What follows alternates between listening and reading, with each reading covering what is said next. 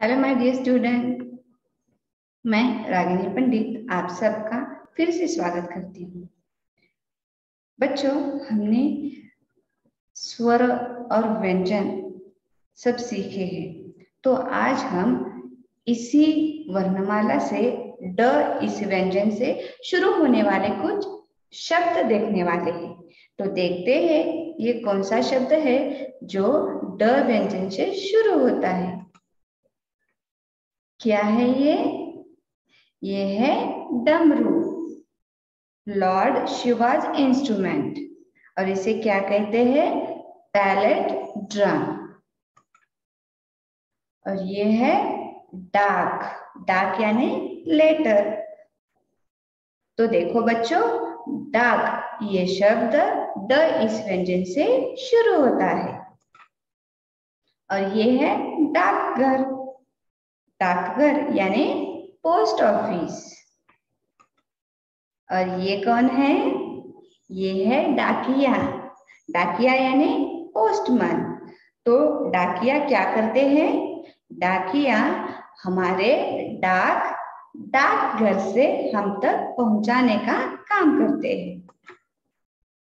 और ये कौन सा शब्द है? डूबना। डूबना यानी टू ड्रॉन और ये है डबल रोटी। डबल रोटी यानी ब्रेड। और ये क्या है?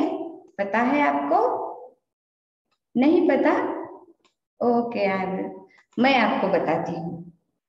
ये है डफली, यानी टैम्बोराइन। ये एक संगीत का वाद्य है। और ये है डलिया। डलिया यानी बास्केट। इस डलिया में हम फल भी रखते हैं और फूल भी रख सकते हैं। और ये है डंडा। देखा है ना डंडा आप सबने? तो डंडा मतलब उड़न रॉड। और ये है डगर।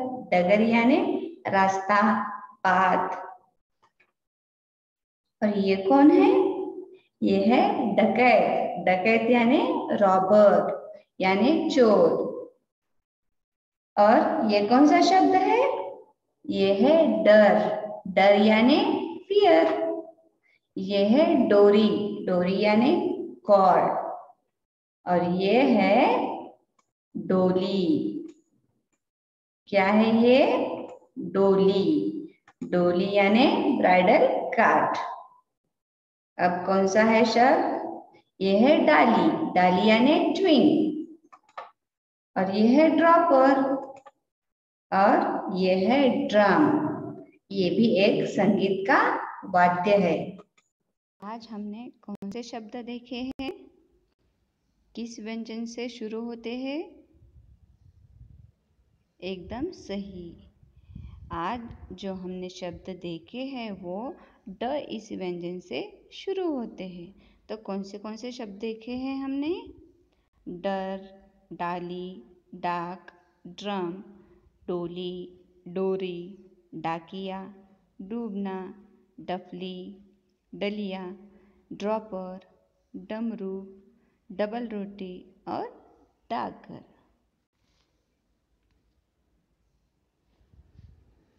तो बच्चों, आज हमने क्या सीखा है? ड इस व्यंजन से शुरू होने वाले कुछ शब्द। उन शब्दों का अंग्रेज़ी में क्या मतलब होता है, वो भी हमने सीखा है। उम्मीद है इस वीडियो की सहायता से आपको ड इस व्यंजन से बनने वाले बहुत सारे शब्दों की जानकारी मिल गई होगी। फिर मिलते हैं एक नए वीडियो के साथ। तक के लिए बाय बाय स्टूडेंट